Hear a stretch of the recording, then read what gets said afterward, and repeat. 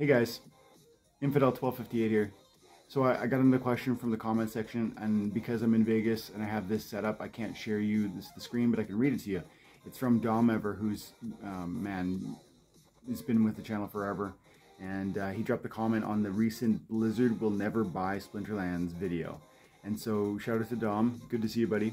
And then also, he goes, I wonder what would happen legally if another company bought it wanted to buy Splinterlands.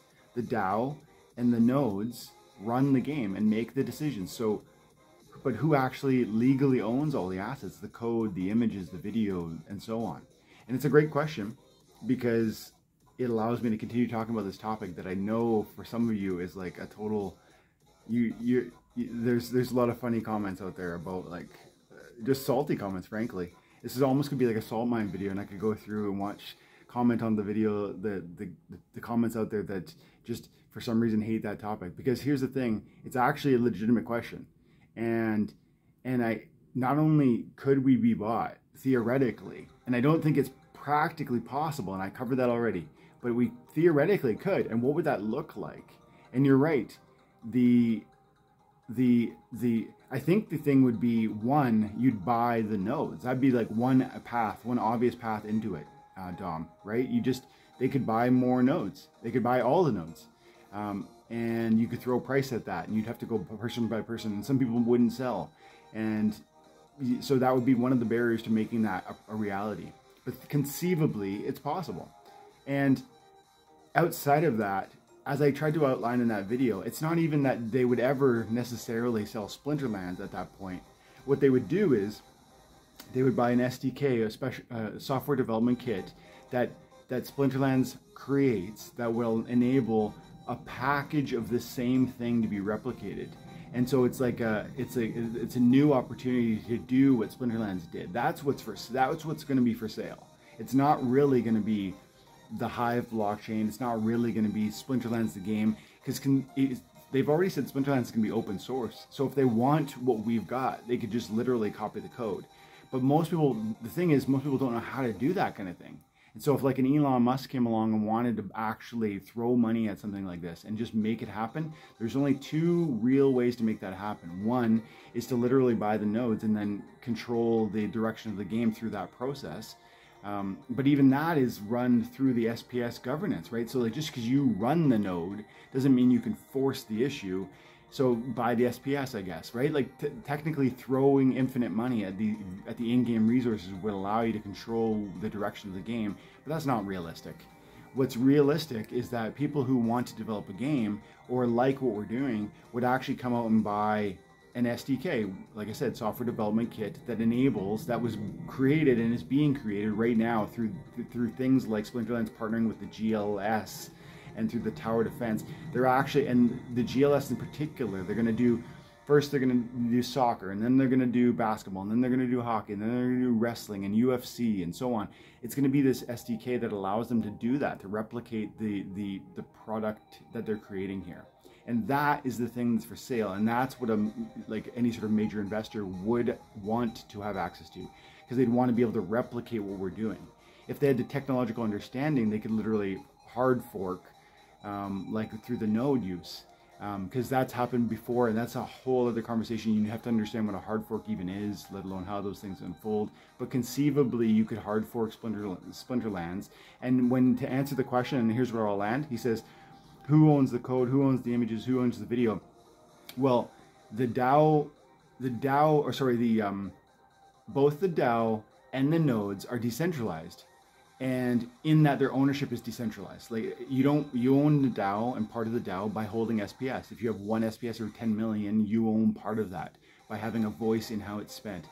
The nodes are operated on a decentralized network. You have one, I have 10, somebody, Jim has five, and that operation, decentralization, means that no one voice, quote unquote, owns it. Yeah, Splinterlands created it, that it's their artwork, but they've been very public about how they're going to be open with those things. And it's not so much that they created it, it's now out of the box. It's no longer even, it's not really owned by them in a sense. But the new cards and the new packs, which only come from them, are. And do you see what I mean? Like once they sell it, it's in the wild and the new like a beta pack which you could still buy today is worth 40 bucks or whatever they don't have any more to print they don't have any more to mint it's just in the wild. They created it at one point and they sold it to the community. And so when we talk about who owns the cards well technically they do because they're on they currently run the the the software that holds up the game but that won't be so. So in the future it's just not going to be the case that these questions even linger. And so the coolest thing about what would happen if there was ever a subdivision of this, if some Elon Musk came along and wanted to, to acquire, it would probably look like end up end up being a hard fork because some would agree that they want that new governance and others wouldn't, and the the decentralized owner leadership that that's run through the validator nodes would would either fully agree to to go under some sort of new vision, but almost certainly would be divided in that and there would be those that would go with the classic um, validator node operation. There would be those that would go with with the new the new uh, vision and developer and owner, like and like I say, that somebody with a massive bucks, and so that that would result in one amazing thing, which would be a duplication of all your assets. So who owns it? You do on your account. Your account, Deus 12 or Infidel 1 uh, 1258 or Butters323 or whatever, it's like your account on the blockchain reflects the ownership of those assets that you've acquired through your time and attention, and now they get doubled. That they would theoretically, in this context, get doubled because that you know filthy rich investor went ahead and hard, created a hard fork moment. It's happened before in blockchain.